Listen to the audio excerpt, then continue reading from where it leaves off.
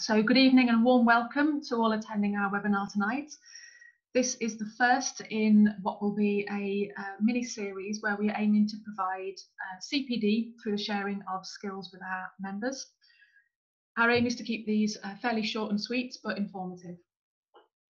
For those that don't know, ICON is the British Institute of Conservation, which is the professional body for conservators in the UK, offering professional accreditation in the industry and also advocacy.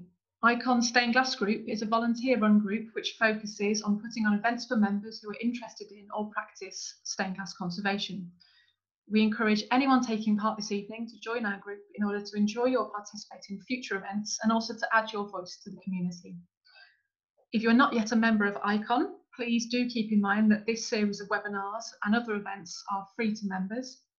You can join ICON in a few easy steps through the website We've been delighted with the ticket sales for this event tonight, which is our first virtual offering. And I hope that our future webinars will continue to spark such enthusiasm with you all. Um, keep an eye on ICON's iConnect emails and our social media channels to be kept informed of any upcoming activities. And also do please get in touch if you have a burning desire to give a presentation of your own. So on to this evening's presentations, which have been pre-recorded to mitigate against any internet dropouts. During each of the presentations, you're invited to put questions to any of our speakers who'll be joining us live later to answer any, anything, any queries you might have. Uh, to do so, you should type your question into the box which is at the bottom of the screen in the, in the chat box. Uh, Zoe and Charlotte, uh, my colleagues, will uh, collate these questions um, for our speakers to then answer. So this evening we have two presentations from established European conservators. Both work at Glasmalerei Peters in Paderborn in Germany. The first presentation is from Markus Kleine, ACR, who is the head of conservation at Peters and has worked for the company for the last 18 years. With a bachelor's in glass painting, Markus went on to study historical heritage at the University of Hildesheim and then obtained his PhD in conservation science at the University of Bamberg. He became an ICON accredited conservator last year. Markus will be presenting on the reconstruction of 19th century windows in St Gertrude's, just north of Brussels, um, in Belgium, which were badly damaged in World War II. In 2010, the architect decided to reconstruct the windows using artistic infills where the original glass was missing. Our second speaker is Christa Heidrich, who has worked for Glasmalerei Peters for the last 16 years, during which she completed her MA in Conservation and Restoration at the University of Applied Sciences in Erfurt. Christa is in charge of both conservation and also the creation of new work for French-speaking projects. Christa will be presenting on Peters's research using realkalization techniques used in building conservation, which is used to serve corralled, uh, corroded Dalle de Verre windows in situ. So without further ado, let's go to the presentations.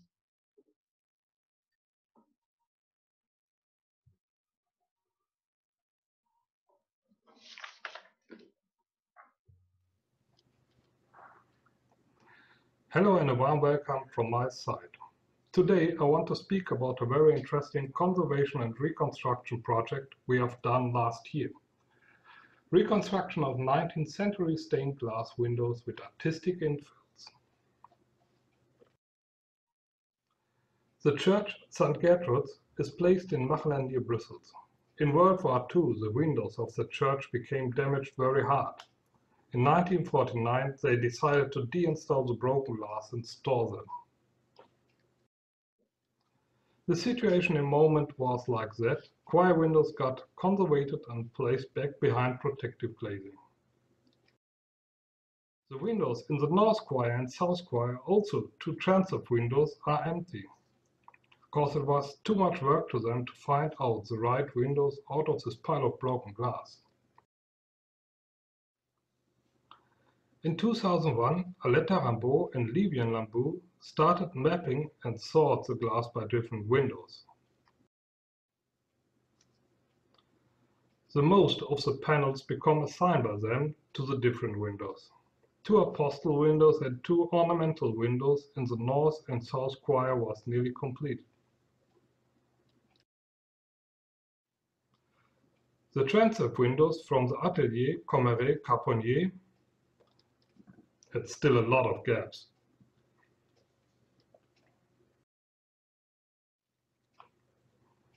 In 2010, the architect Giselle Ganton got commissioned for conservation and reconstruction of the transept windows. She instructed the artist Peter Schulzen for develop a design concept for reconstruction of the windows, including the old fragments. He placed the existing fragments to its old place and designed infills with different kind of types. Schulzen took scriptural text fitting to the stained glass scene. So the glass linked the windows and the text links the broken scene. In 2020, Glasmalerei Peters got instructed to realize the work of Peter Schulzen and do the conservation work of the historic stained glass. In the beginning, there was much discussion about possibilities in glass and technique for realize the infills. Samples was made in different kind of glass, painting techniques and sandblasting. Also, the thickness of the glass and working on both sides was used for design effects for the infills.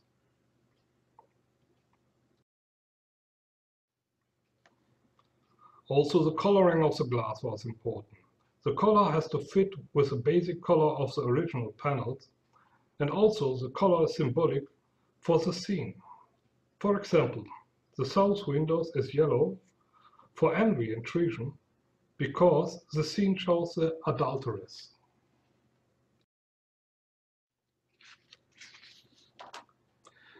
The other phase of this project was the conservation of the existing original pieces. The first step was the documentation of the state, as well as different cleaning tests. There was a lot of different kind of dirt on the surface because of storing the glass not professional. Then we have to start puzzle and find out the small pieces of original glass for the gaps.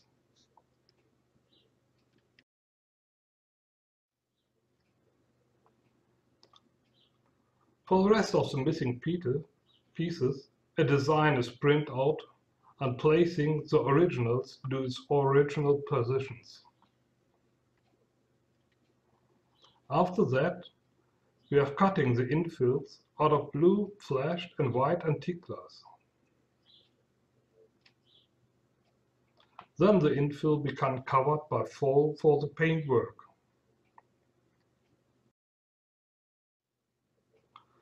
The pieces became airbrushed with different kind of colors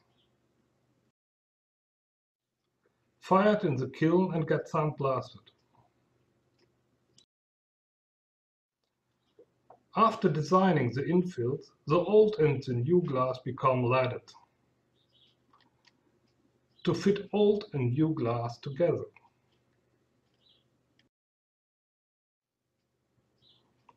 After that, we do a step-by-step -step installation in our tower to discuss again the result of the windows with the architect and the artist. The result closes the gaps in every little detail and complements the original without being too present for the viewer.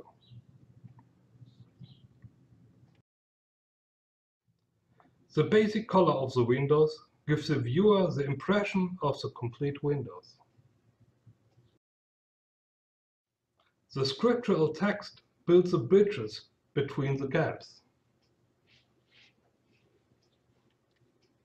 The use of antique glass gives the right structure between old and new. Reconstructive without being full reconstructive it increases the value of the original.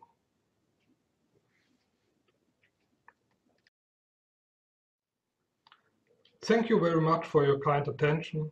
Thanks a lot to the ICON team for the organization and help. Hope we see us well and healthy.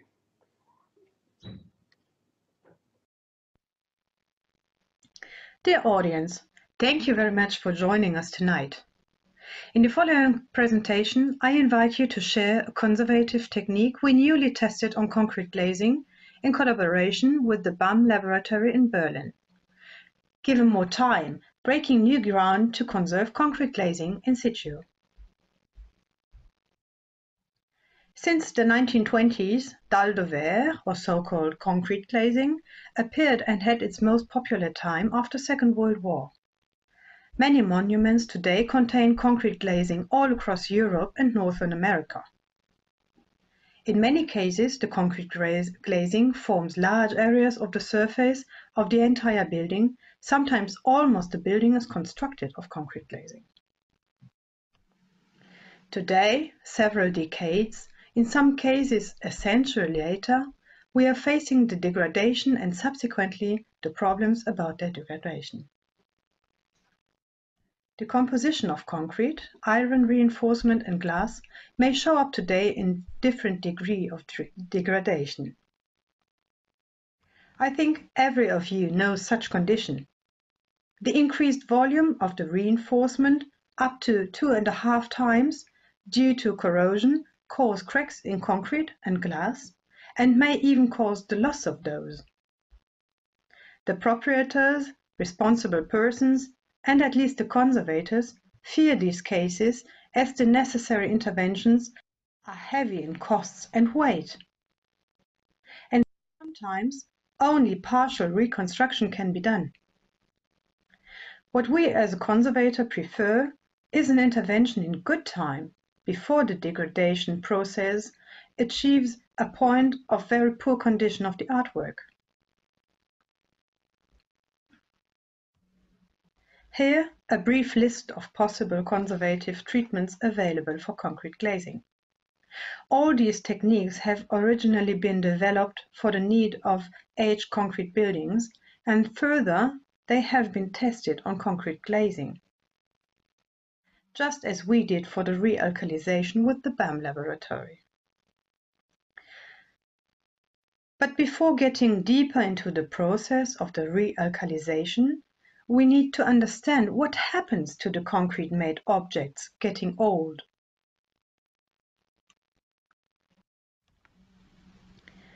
Young, fresh concrete, which is composed in the simplest case of concrete, water and grain, forms calcium hydroxide, and this calcium hydroxide is highly alkaline with its pH value of 12. This alkalinity passivates the reinforcement that means it has a protective effect on it. The concrete protects the reinforcement of corrosion. This protective skill can easily be visualized by using phenolphthalein solution.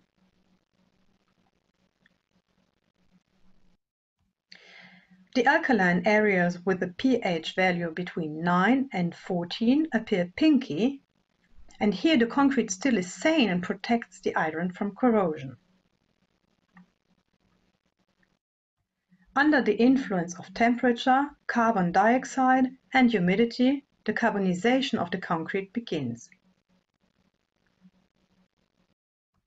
Carbonization means a chemical reaction which lowers the alkalinity of the concrete from the outside inwards.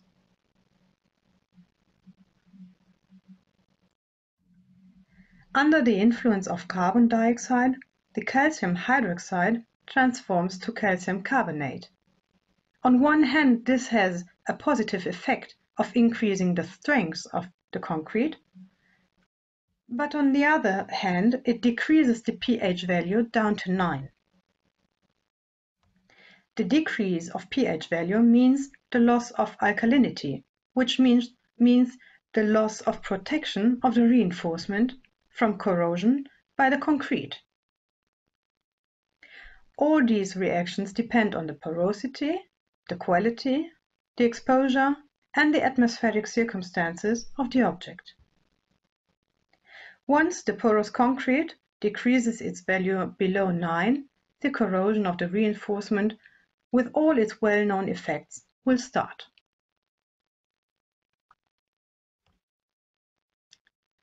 Just as a little visualization of this reaction, here a comparative result after application of phenolphthalein solution on a carbonated concrete.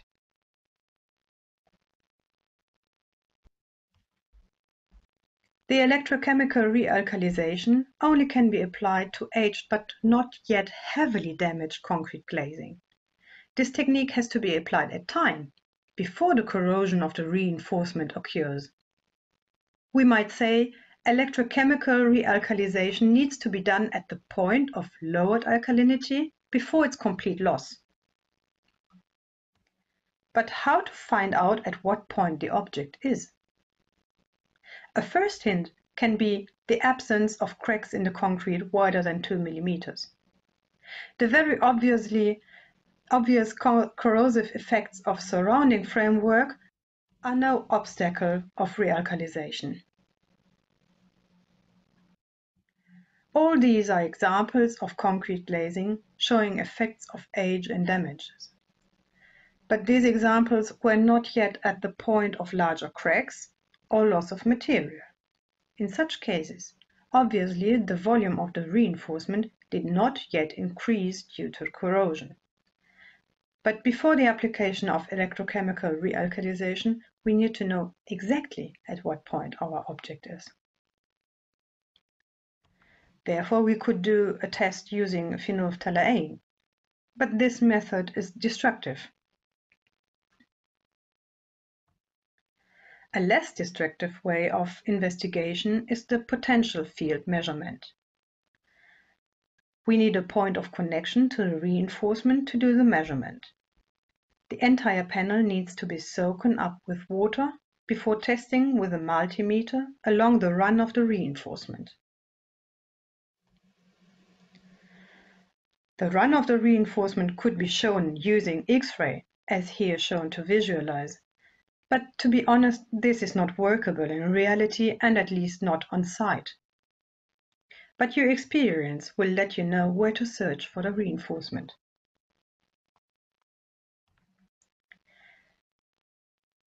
In the range of minus 150 to minus 200 millivolt, electrochemical realkalization is possible.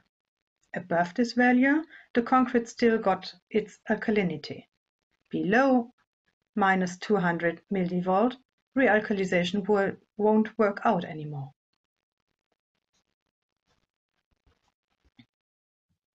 Then the panel's outer surface has to be covered entirely A sacrificial auxiliary anode is placed, covering again the entire surface to be treated. Another layer of compresses covers the anode. And it is soaken with an electrolyte solution. Finally, a DC power source is connected about 7 to 14 days, 8 hours per day. Under the applied electrical current, electroosmosis, diffusion, and capillary absorption will happen. Negatively charged ions as hydroxide, chloride ions, and carbonate ions migrate, migrate towards the anode and positively charged ions as sodium ions migrate inwards until maintaining electrical neutrality. This achieved balanced condition after the electrochemical realkalization with an pH above 12 or 13 means the re-establishment of alkaline passivity. To show you a little more pleasant what happens, here again the effect to the concrete. The concrete is aged and carbonization took place. Alkalinity heavily decreased. The anode compresses and current are set and the repassivation starts. The effect goes further. After a period of 7 to 14 days, the repassivation is done and the reinforcement may benefit again of the alkaline passivation of the concrete.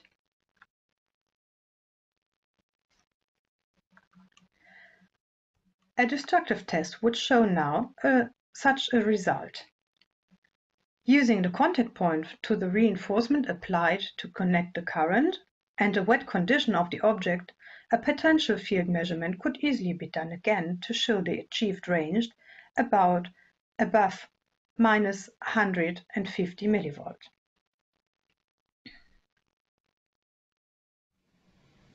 After having taken off the compressors and the anode, a thin whitish layer will show up on the surface of the entire panel. This material is sodium carbonate. Sodium carbonate is what you can use at home cleaning burns from dishes, for example. It is highly soluble, soluble in water and will easily be cleaned off using water. The connection point to the reinforcement has to be undone and the concrete to be filled in in this area.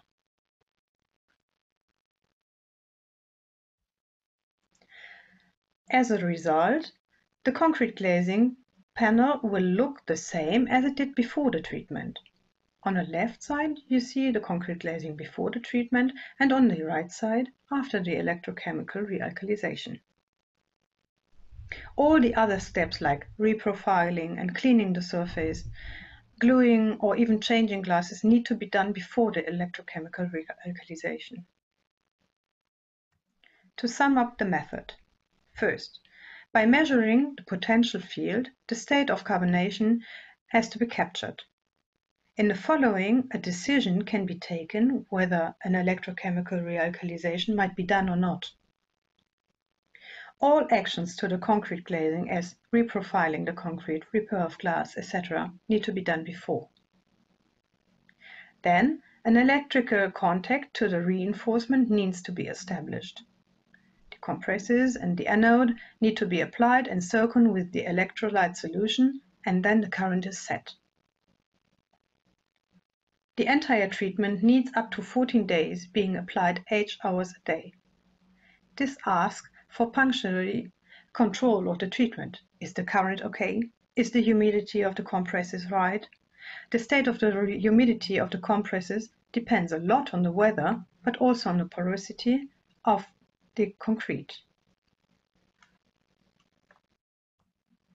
As advantages, I may say that this method restores the lost alkalinity to the carbonated concrete without changing its visual properties.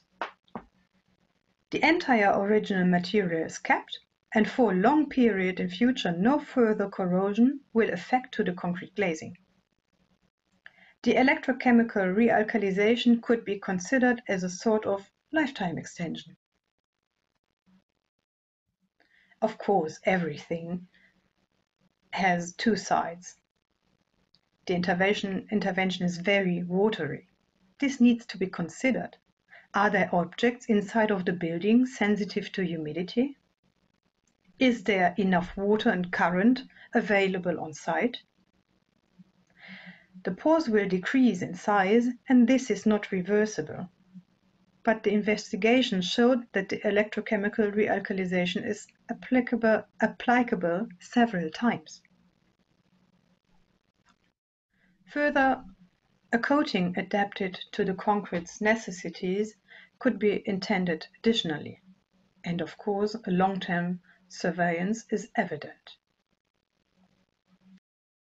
If men cannot bath in a fountain of youth, wouldn't it be nice for concrete glazing at least? Even if the effect won't last forever, it will give some more time to the concrete glazing. Thank you very much for your interest and stay healthy.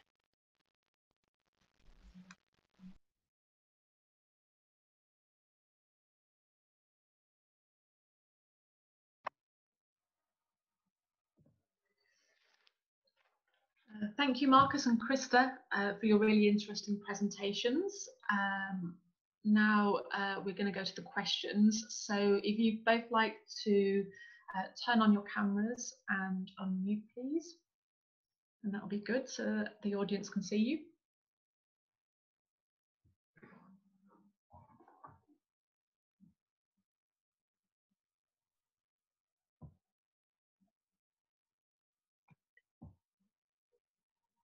Oh, the host is there. Yeah, the host stopped the video. Okay, um, Christa and Markus, if you want to turn on your videos, that's it. Hi. Hello. Hello. Hello. Hello. Welcome back. Um, so uh, we'll go, uh, Markus, to you first. We've got a question here from Fernando. Um, just waiting for that to come through.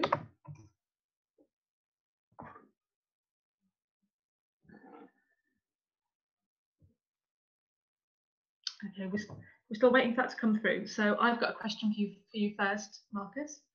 Um, so, and that is, uh, what did the parish think of your conservation solution? It's it's a very uh, different aesthetic to what they they might traditionally be used to.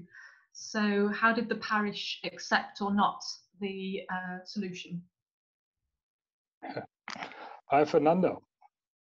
Um, I, I, at the moment, I don't know what the parish thinks about this because the, the windows are not installed at the moment. Um, end of this uh, month, we do the installation and then the, they will see it. Okay. At the moment, only the artist and yeah, but I think it will be accepted because the designs was uh, spoken with the parish. So I think and I hope they will love it. um, how legible is the text from ground level? Uh, it's it's possible to read it, um, but not in all details, cause the uh, the the types overlapping a little bit, and it's uh, written from from outside and inside, so that it have an own structure and. Um, you, you can read it from both sides if you want to, but you have to go very close to them, and that's uh, not possible the idea is to read it because um, the well, like like I've said, the scene is also um, uh, compatible with text there. Uh, so um, if you see the adulteress, then this is also uh, the text about the adulteress out of the Bible. Okay. Thank you. Um, Fernando, I think you have a question. If you want to unmute.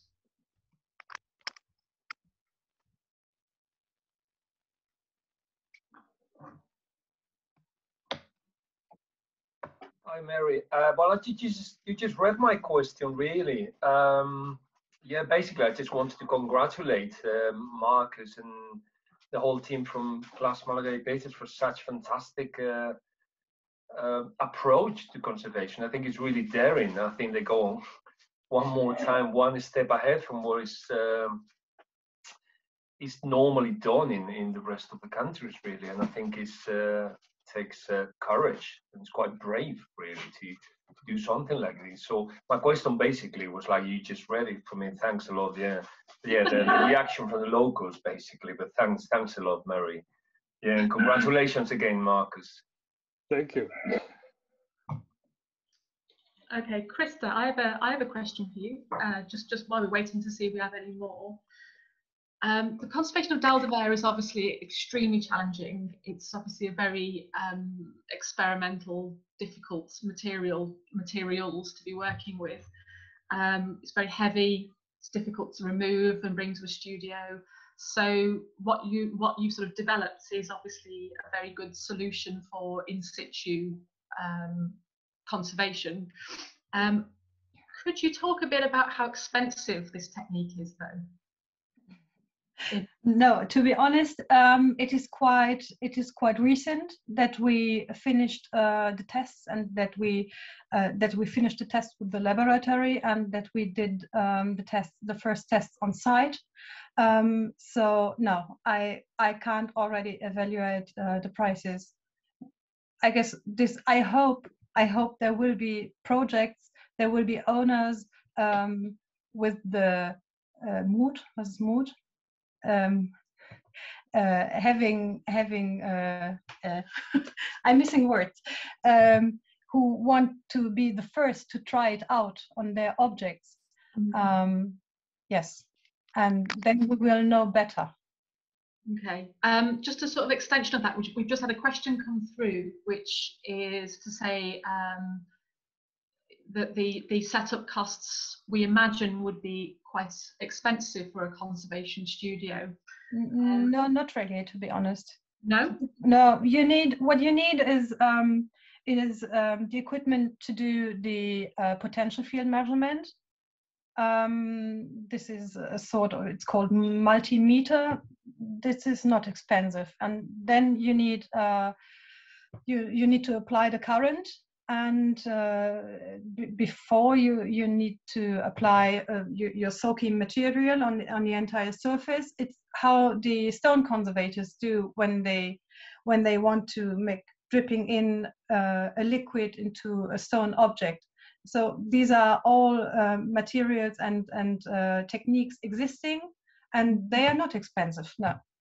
But we, we don't have yet enough um, experience about the application on site uh, in reality on, on, a, on a whole object and what what will happen on summertime if it's very hot? Do we have to need uh, do we have to need people being around all the time or does is it so because this will affect a lot to the price or is it enough if uh, if one uh, goes there every two days and all these experiences uh, we don't already have okay um, but another question come through for you again Christa mm-hmm. so it's can you suggest what sort of additional lifespan might be expected uh, um, realizing that there's different environmental conditions in different places Yes. so um, beside the uh, different conditions on site or, around the object, you have different um, conditions in the material of the object. You have different uh, composition of, uh, of the concrete, you have different porosities, and all this affects a lot of uh, to the speed of uh, loss of alkalinity again.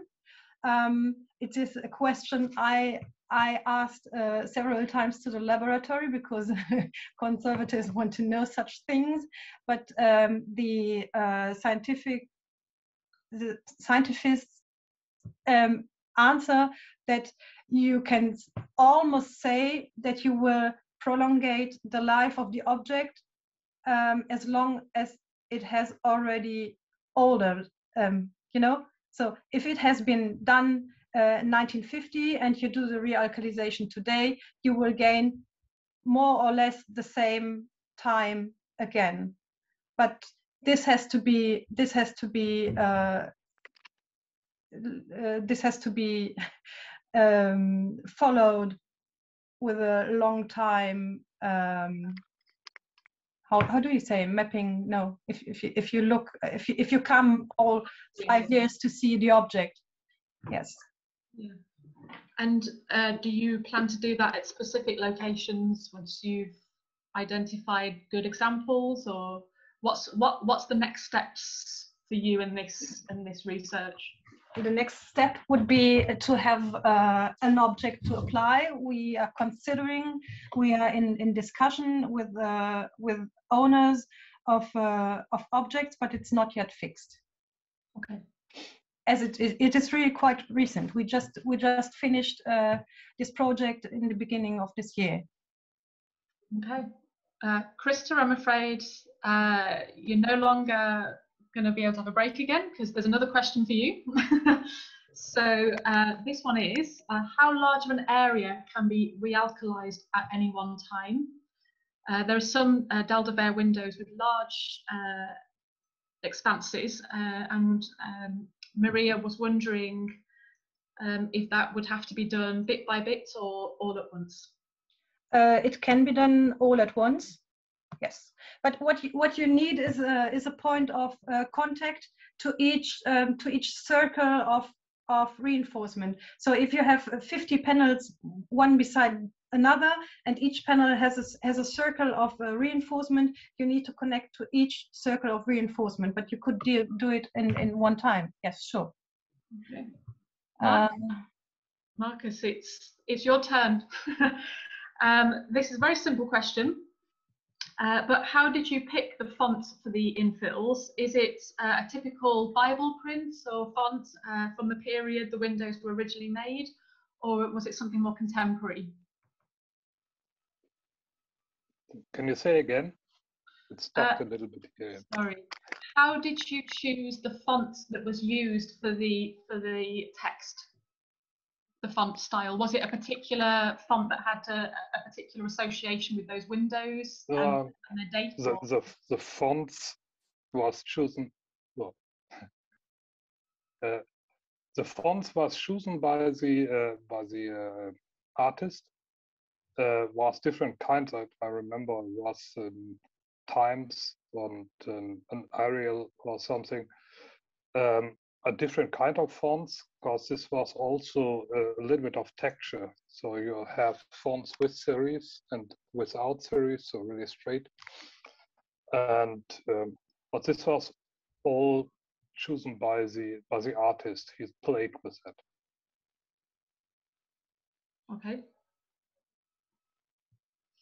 Uh, Christa, we, we're going back to you again. Uh, we have a question, which is, if carbonisation strengthens the concrete, does realkalization weaken the concrete?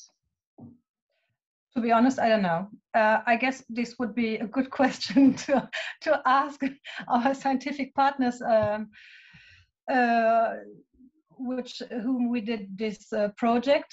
Uh, it is a good question, and I don't know why I didn't already ask it. Um, but the strength, so the really physical strength, is a good result of the carbonization, but we don't need it. So I wouldn't even be afraid of weakening the concrete to a point as it had been before when it was made. Um, but we should we should uh, look up this point again with with uh, people with whom we did the, the tests. Okay.